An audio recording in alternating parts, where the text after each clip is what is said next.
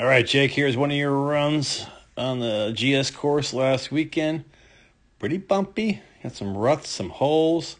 That's what happens when we're training at 55 degrees. Let's check it out in regular motion and then slow it down.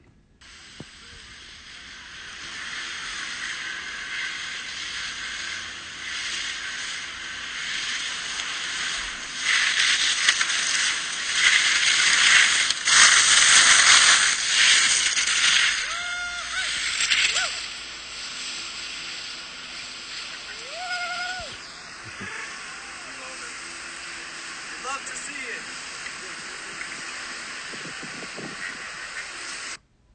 All right, well, apparently someone liked it from the lift, yelling and whatnot. Yeah, it was bumpy, as I said. Um, really, all the more reason we have to be strong on the outside ski. We have to be balanced on the outside ski. We got to power through these things, absorb them, and be in a strong athletic position to absorb any terrain.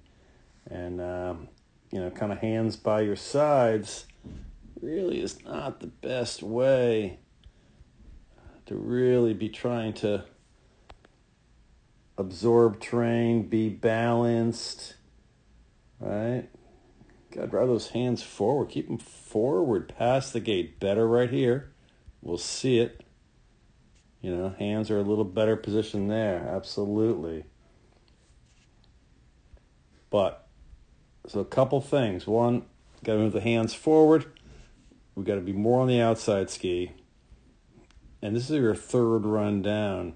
We talked about an inspection how we had to this gate we had to be really high, give ourselves lots of room in the rise line, get outside rise line, bring shape back, and be well ahead of it to carry speed in the flat. And obviously, you're you didn't. You went way too direct, not enough space above, and uh, paid the price going across the hill now, carrying that low line right there again.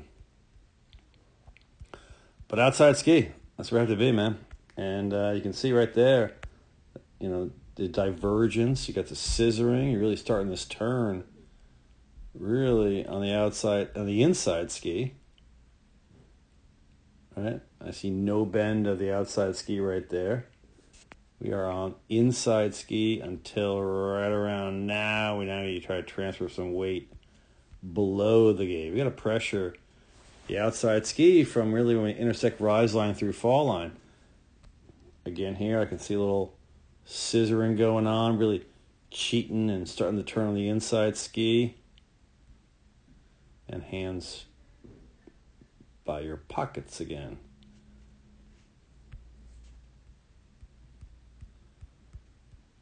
So, kind of rode the, uh, you know, again, because you're on the inside ski here the ski's really never hooked up. The arc will lengthen.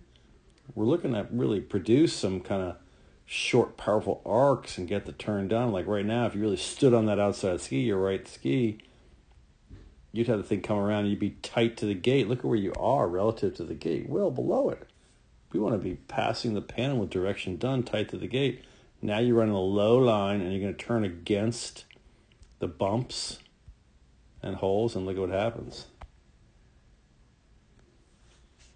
Yeah, so especially when it gets bumpy and, and holy, we got to be a really be above it and make sure we're not fighting and turning against uh, the bumps. And you were you were fighting and turning against the ruts all the way down this lower section. So let's drive the hands forward past the gate. Let's get in the outside ski, and let's make sure we uh, execute a good line.